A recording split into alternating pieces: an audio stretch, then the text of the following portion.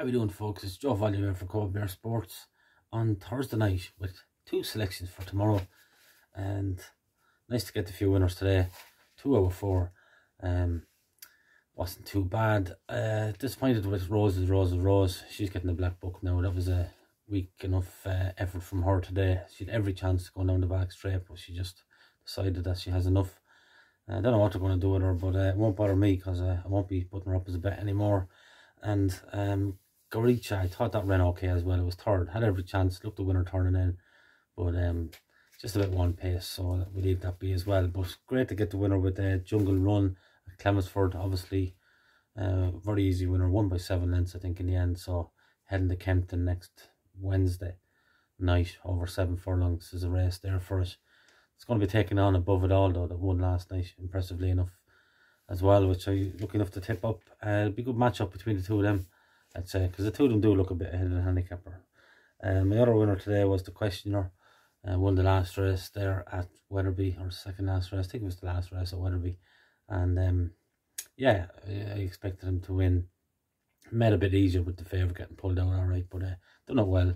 Deserved that win after being, uh, you know, wrongfully, I thought, disqualified at Southwell the last time. So, two winners out of four. All in all, uh, lovely way to finish off the month been a fantastic month, obviously. Uh, tomorrow will be the 1st of April, obviously, and that's the first day of the, you know, the new kind of month for the Patreon service. So if you're not already uh, booked in, I suggest you do. Uh, 70 points profit, I think, just over 70 points profit last month uh, in March there. So that was brilliant, obviously. And um, Paddy might have one tomorrow, I think, in Ayr. And I definitely have one Saturday as well. So uh, interesting times ahead. Hopefully we can keep that kind of a standard going. You know, so really, really uh, happy about March, obviously.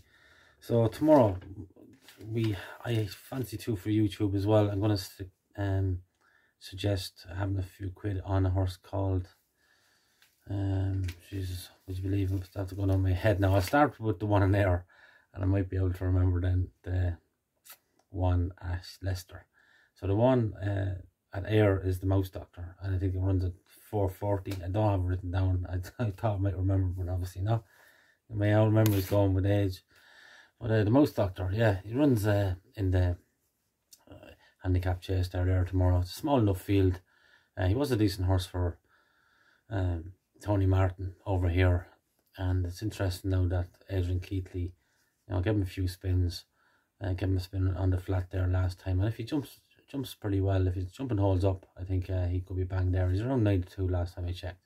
So I think uh, he's every chance. And Silvestre de Sousa has a ride in the last race at Leicester. Um, I think it might be called Enthusiastic or something, something like that. Um, he's a horse that used to be uh, trained over in Hong Kong, but uh, James Fanshawe trains him now. So you know him. He's probably favourite. I think he's in around 7 to 4 shot. I think he's worth a point win. Very interesting. Very unlucky at Kempton last time out. Apologies that I can't remember the name of the horse. Uh, I had it written down there, but after Miss Lane, um, the piece of paper, I had, had it written down. But uh, I put it on the comments below. Uh, enthusiasm or something like that, or enthusiastic. So might be that. And uh, yeah, I think the horse has every chance at Leicester there. I think it's the last race at Leicester.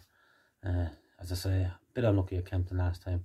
I think he's worth a point win tomorrow as well. So that's the Mouse Doctor there and Silvestre Sousa's for James Fanshawe at the end of the card at Leicester. Two for tomorrow. Hopefully they win. Be great to get April off to a flyer. And as I say, if you're interested in joining the Patreon service for our stronger bets, even though every bet we put out, uh, you know, we're there is a lot of thought going, going into every selection. We're hoping to win, obviously. Uh, but our stronger, real, real strong fancies go on the service. And if you're interested, the details for that will be in the description below this video. Okay, so Joe Value for Coldbeer Sports. Thanks very much for listening. Uh, you know, have a good weekend and hopefully we'll be able to point you in your direction for a good few winners. All right, all the best. Take care. Cheers.